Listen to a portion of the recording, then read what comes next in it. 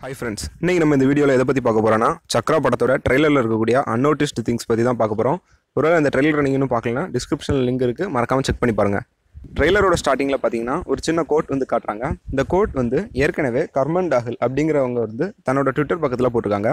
அவங்க யார் அப்படின்னு பார்த்தீங்கன்னா சைபர் கிரைம் டிபார்ட்மெண்ட்டில் இருக்கக்கூடிய ஒன் ஆஃப் த கன்சல்டன்ட் இந்த கோட்டை இன்ஸ்பைரிங்காக வச்சு தான் படத்தோட கதையுமே டெவலப் பண்ணியிருக்காங்க அது எப்படி சொல்கிறேன்னு பார்த்தீங்கன்னா நெக்ஸ்ட் ஷார்ட் அந்த கோட்லேருந்து ஒரு மூணு வார்த்தையை மட்டுமே ஹைலைட் பண்ணி காமிச்சிருப்பாங்க. அது என்னென்னா cyber hacker another weapon robbery and theft அதாவது விஷால் நடித்த இரும்புத்துறை படத்தோட கதையை பார்த்தீங்கன்னா இண்டிவிஜுவல் பர்சனோட இன்ஃபர்மேஷனை திருடி மணி டிரான்சாக்ஷன் பண்ணும்போது அதிலிருந்து கொள்ளையடிக்கிற மாதிரி தான் அந்த கதையை வச்சுருப்பாங்க. ஆனால் இந்த படத்தோட கதையை பார்த்தீங்கன்னா ஒவ்வொரு இண்டிவிஜுவல் பர்சனோட இன்ஃபர்மேஷனை திருடி அவங்க வீட்டில் நேரடியாகவே போய் கொள்ளையடிக்கிற மாதிரியாக தான் கதையை டெவலப் பண்ணியிருக்காங்க. படத்தோட மொத்த கதையுமே தமிழ்நாட்டில் நடக்கிற மாதிரி தான் காட்டியிருப்பாங்க. அதுலேயும் குறிப்பாக சொல்லணும்னா சென்னை சிட்டியில் தான் நடக்கிற மாதிரி ட்ரெய்லர்லேயே ஹைலைட் பண்ணி காமிச்சிருப்பாங்க. அதற்கான ரெஃபரன்ஸ் ஷாட்டை வந்து ட்ரெய்லரோட இந்த இந்த ஷாட்லேயே வச்சுருக்காங்க. அது மட்டும் இல்லாமல் படத்தோட டைட்டில் கார்டு கவனிச்சு பார்த்தீங்கன்னா படத்தோட கதைக்கு சம்மந்தமாக ஹியூமன்ஸோட ஃபிங்கர் பிரிண்ட் ரெஃபரன்ஸை ஓவர்லே பண்ணியே டைட்டில் கார்டை டிசைன் பண்ணியிருக்காங்க. ட்ரெய்லரோட இந்த ஷாட்டில் பார்த்தீங்கன்னா zero zero one zero zero அப்படிங்கிற ஒரு நம்பர் காட்டியிருப்பாங்க. இந்த நம்பரை ட்ரெய்லரோட எல்லா ஷாட்லையுமே ஒரு யூனிக்காக காட்டியிருப்பாங்க. ஆக்சுவலாக அது என்ன நம்பர் அப்படின்னு நம்ம கூகுள் பண்ணி பார்த்தோன்னா நம்மளோட வெப் ப்ரௌசரில் இருந்து ஏதாவது இன்ஃபர்மேஷன் வந்து ஸ்டீல் ஆயிருக்குன்னா இந்த மாதிரியான ஒரு எரர் காட்டும். படத்தோட கதையிலுமே இண்டிவிஜுவல் பெர்சன்ஸோட இன்ஃபர்மேஷனை திருடி அதன் மூலமாக தான் திருட்டை நடத்துகிற மாதிரி ட்ரெய்லரில் காட்டியிருப்பாங்க.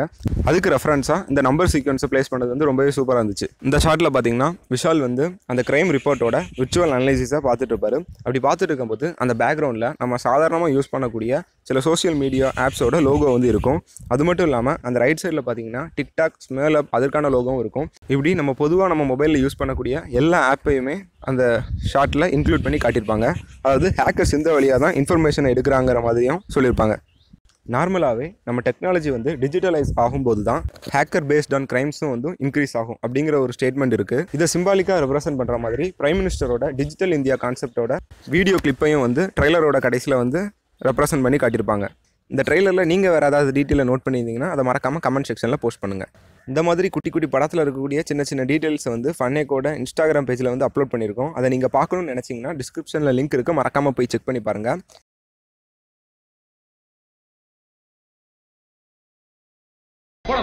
பக்கத்தில் போடு. பயப்படாம வாங்க. போயிருங்க.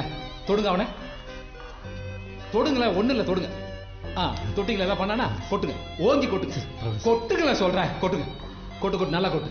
ஆ எதா பண்ணானா?